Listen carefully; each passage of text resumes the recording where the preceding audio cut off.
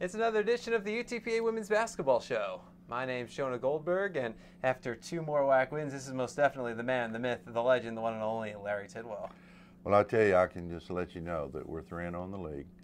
I have not scored a point, had a rebound, grab, had an assist, or had a steal. So it's all about your players. That's a terrible stat line. Oh, it's all about your players. Our players are playing at a, a very good level, and we got to continue to take it to even higher level, and that's what we're after. We've we've had really two good practices this week. Uh, got a few kids banged up, got a few that are sick, but and the coach is a little bit sick too. But uh, we're gonna make it work. You know, it's funny you talk about going to a higher level. I watched your, I got to see some of your practice yesterday, and I, I, I, really enjoyed it. I thought you guys were doing great out there, and obviously the two games. When you hold two teams to about 30% shooting that were picked to finish at the top of the WAC, uh, how can you get better?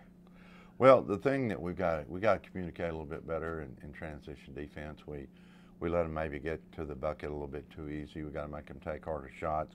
We got to rebound better. Um, you know, Seattle out rebounded us quite a few, but we were making a lot of shots, so we didn't get a whole lot of rebounds uh, from the offensive end. But we've got to rebound better. We've got to continue to play great defense, and we're fixing to add a few more things into our defensive uh, array as we're going to start doing a lot more trapping.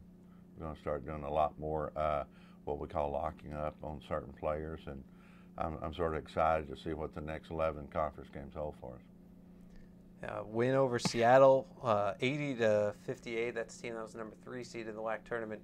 Last year, they were picked to finish second by the media, third by the coaches, and then beating Bakersfield 77 60. They were the preseason favorites in both polls, receiving the majority of the first place votes. Broncs to finish second in the coaches' poll, third in the media poll, receiving first place votes in each. Uh, but, you know, that would expect, you know, you go in, you figure you'll have, okay, some tight, hard, contested games. And, I mean, you, you won these games by 22 and by 17 points. Well, I tell you, we had balanced scoring at Seattle. I had four people that were in double figures. Uh, Goff had 22. Bush had 16. I mean, she's just really become a very good offensive player. If I can keep her out of foul trouble, we're going to be a lot better. And then Tanisha Walker had 12, and uh, Hilder Carson's daughter had 10. And then again, Tiandra Nolan with uh, an outstanding game at the point with five. But Troy Swain came off the bench and had eight points for us. And if we can get that from Troy each and every game, then we're going to be a pretty special offensive team. Five of those points I thought was the point in the game where, in my opinion, it was over. Uh, you, you all had just gone on a nice run to take a pretty significant lead over Seattle. Then they scored five straight points to try and climb back into it. And then Troy hits the three, steals the inbounds, and then and immediately makes hits a jumper. Yeah, five point play, five point swing there. You know, the thing too that was exciting about the Seattle game, we we got them into 21 turnovers. We only had eight for the game. I mean, it's in, incredible when you can at a Division One level only have eight turnovers. But another thing that was really good is off of the uh, turnovers that we created with Seattle, we got 21 points off of turnovers, and they only got three. And that's a huge differential, and we've got to uh, keep doing that in plus two. I'm so pleased with our bench. Our bench outscored Seattle by the tune of 25 to 13. So that lets everybody know that we are a pretty deep team. I feel like we go 10 deep. And the importance of depth certainly uh, being shown throughout both games. You mentioned those those points off turnovers. You did it again against Bakersfield, outscoring them 22-12 off turnovers. Uh, we did, and, and that, uh, the the pressure defense that we do, the ball pressure, the up in the passing lanes, you know, trapping occasionally. We'll squeeze, go underneath, we'll hedge. We give them a lot of different looks, and it does create a lot of turnovers. Uh, we even ran our 12 zone some, and we got some very, very good very good turnovers out of that because we took it the length of the floor and shot layups. So, yeah, our, our pressure defense has been very good. Seattle shot 36% from the field. Uh, Bakersfield shot 30.2% from the field, and they have four. and they have four legitimate scores. And when you can hold a team that good, that was averaging almost 80 points to 60, you know, that's a pretty good defensive night. Yeah, four players averaging double figures this season for Bakersfield. You only allowed one of them to get double figures, and that's the, you know, the WAC preseason, preseason player of the year. So and most you know, deservedly so. She's a nice player, does a very good job. And you know, somebody's got to going to score a few points, but you right. held everybody else in check. I mean, you uh, you know, so one of their top scorers, uh, Brooklyn Hinkins, he did such a great job on her. She didn't score until midway through the second half. Right. Um, Very good shooter. And again, uh, uh, got to get a lot of credit to our bench. Our bench came off, got us 17 points, outscored them 17 to 14. And anytime your bench can outscore the opponent's bench, then that's that's a definite plus in your favor. Yeah, you've. It's great. Like when your team comes off the bench, you see a team that I see a potential another starting lineup out there. Well, I tell you, uh, the way that Troy Swain is playing, she's taking it to a whole different level. Hilder, I mean, there, there's your future of the franchise. That's two freshmen, Yeah. you know, that can come in and, and score at will. And then, um, you know, one that we haven't mentioned that just had unbelievable, unbelievable games was uh, Raquel Preston.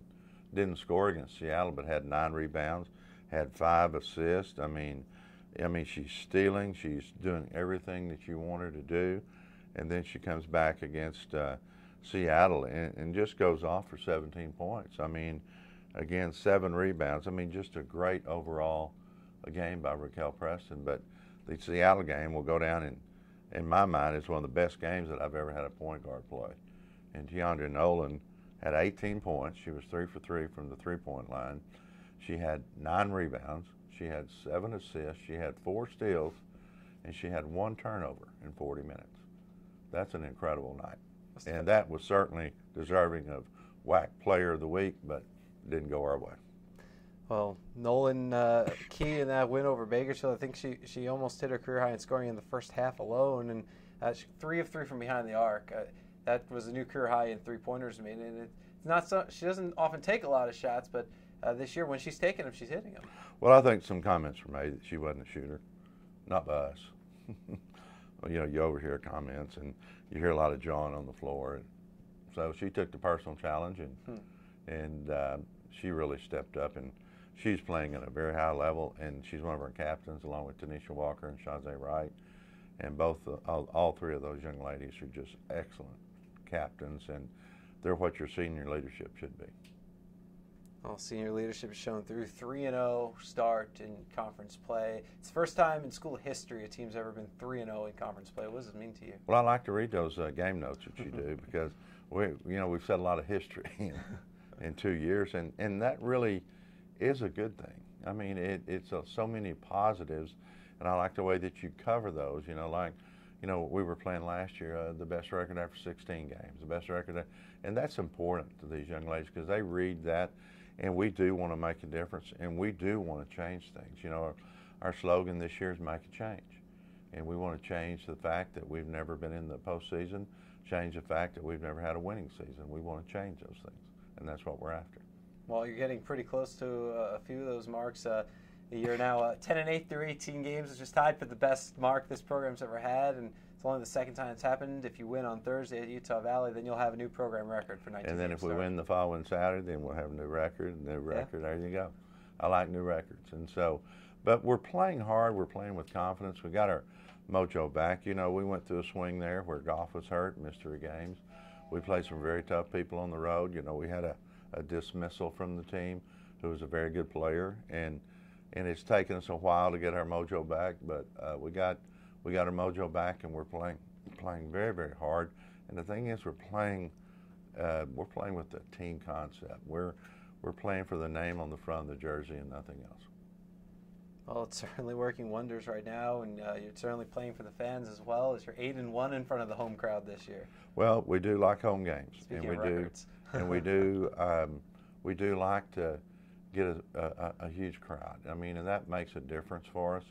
And um, we've got some key conference games coming up. We need everybody there to support us. We even flew my parents in for this last game just to make sure we had a few extra. Well, I'm I'm glad that I'm glad we got that taken care of. That we made them happy. So it's all good. So two big wins over two of the top teams in the WAC. Broncs three and zero in WAC play now. Now you go on the road to face Utah Valley and Grand Canyon.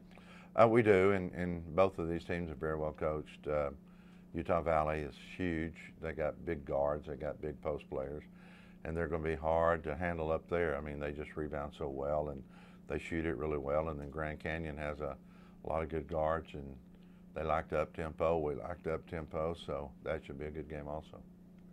Last year, uh, I think it was a split with Grand Canyon and a sweep of Utah Valley. Uh, how how similar, how different are those teams compared to uh, both year? teams are better.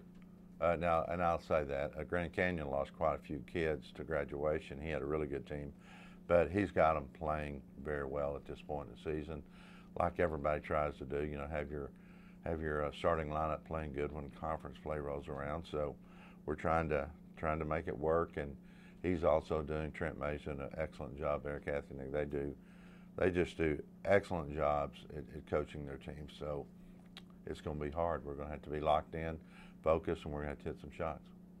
Uh, first week of school this week. What's it been like uh, on that first day of school? Getting every, making sure everybody's. Uh, oh, we to go from everything of uh, getting to class, getting classes changed, getting classes canceled, and books. It's all about we got to find some books to give these kids so they can study. And then we we start school on Tuesday, and then we leave out in the morning at 5 a.m. and we don't get back till Sunday. So we've already got our got our got our foot in the in the in the trench a little bit. You know, we got to get back and recover and do things academically that we're supposed to do. So we'll make sure that we do that and and go from there. Well, uh, when the AD honor roll came out, uh, I think it was uh, last week. You had uh, quite a few players on it, so you know we know that you're making. Yeah, we uh, we're trying academically. You know, looking at academic honors, I know Laura Van Tilburg was awesome. Uh, Crystal Cardenas, Amanda Ramirez, uh, Jada Bennett was on that list. Um, uh, Micheline Mercelita. was on Micheline there. Was on there, and also Raquel Preston had some things happen, and she was over a 3.0.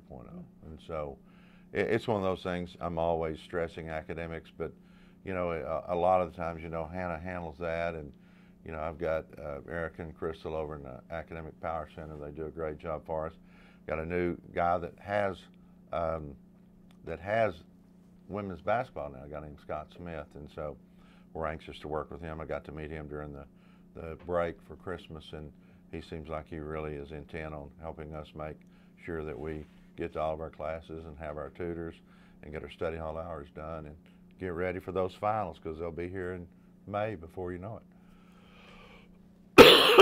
The Broncs are back in action on the road Thursday at Utah Valley. That is an 8 p.m. Central Time start, and then Grand Mm-hmm. Canyon 7 p.m. Central Time on Saturday.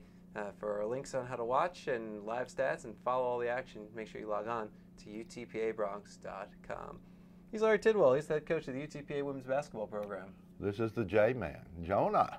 He handles all, all of the good stuff that uh, happens in our media relations department. And I believe you had a special young lady had a birthday last week, or was it a week Yes, or two? the one and only Elizabeth. That's right. Yeah, you better not forget her. yeah, I caught you off guard. Hey, go Broncs. Go Broncs.